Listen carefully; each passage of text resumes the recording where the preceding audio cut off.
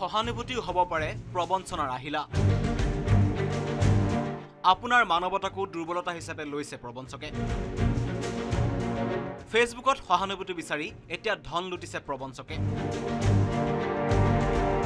ৰোগীৰ চিকিৎসাৰ নামত ফেচবুকত ধন সংগ্ৰহ। ৰোগীৰ চিকিৎসাৰ নামত ফেচবুকত ধন সংগ্ৰহ কৰি আৰক্ষীৰ জালত পৰিল ৰূপম চুতীয়া নামৰ এটা প্ৰবঞ্চক। চৰাইদেউৰ বকপৰাত ঘৰ প্ৰবঞ্চক ৰূপম চুতীয়াৰ। এক দুৰাৰোগ্য ৰোগত আক্ৰান্ত হৈছিল মৰাণৰ পানীতোলাৰ বৰবিল গাঁৱৰ এগৰাকী কণমানি। ডিব্ৰুগড়ৰ অসম চিকিৎসা মহাবিদ্যালয়ত চিকিৎসাধীন হৈ আছিল এনিশা শইকীয়া নামৰ এঘাৰ বছৰীয়া এগৰাকী কণমানি। পৰৱৰ্তী সময়ত উন্নত চিকিৎসাৰ বাবে ৰাজ্যৰ বাহিৰলৈ যাবলৈ পৰামৰ্শ দিছিল চিকিৎসকে।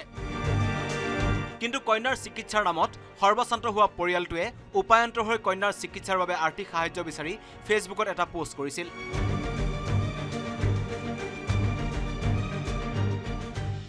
কণমানি তাই দুৰাৰোগ্য ৰোগত আক্ৰান্ত হৈছিলে। পৰিয়ালৰ ফালৰ পৰা সহায় বিচাৰিছিলে। পৰৱৰ্তী সময়ত মুখ্যমন্ত্ৰী ডাঙৰীয়াই ছোৱালীজনীক সহায় আগবঢ়াওঁতে পোষ্টটো ডিলিট কৰি দিলে ঘৰৰ মানুহে। সামাজিক মাধ্যমৰ যোগেদি বিভিন্ন একাউণ্ট খুলি পিনে টকা সংগ্ৰহ কৰি থাকিলে। আনকি মৃত্যুৰ পিছতো টকা সংগ্ৰহ কৰিবলৈ বাদ নিদিলে।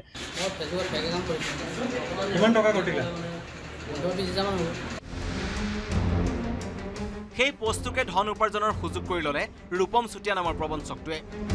এই পষ্টৰ যোগেদি প্ৰবঞ্চক ৰূপম চুতীয়াই পাঁচটা বেলেগ বেলেগ একাউণ্টৰ পৰা এনিশা শইকীয়াৰ চিকিৎসাৰ বাবে বিচাৰিলে সাহায্য। ডিমৌৰ কানাড়া বেংকত প্ৰথমে পত্নীৰ নামত একাউণ্ট খুলি ধন সংগ্ৰহ কৰিছিল প্ৰবঞ্চক ৰূপম চুতীয়াই। তাৰ পিছত গুগল পে'ৰ জৰিয়তেও ধন সংগ্ৰহ কৰিছিল প্ৰবঞ্চকটোৱে।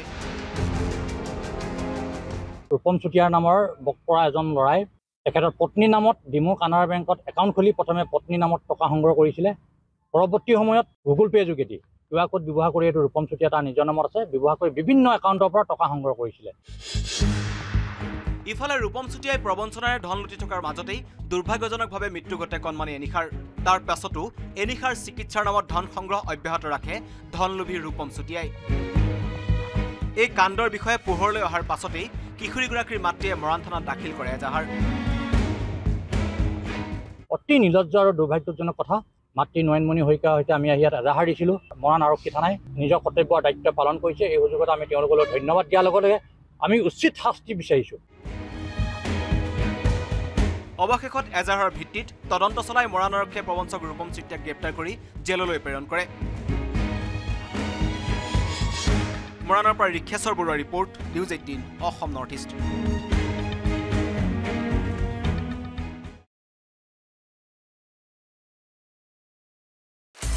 আপুনি বিচৰা বাতৰি পাব কেৱল নিউজ এইটিন এপত। নিউজ এইটিন এপ ডাউনলোড কৰিবলৈ স্কেন কৰক এই Q R code Google play ষ্টৰতো পাব এই নিউজ এইটিন এপ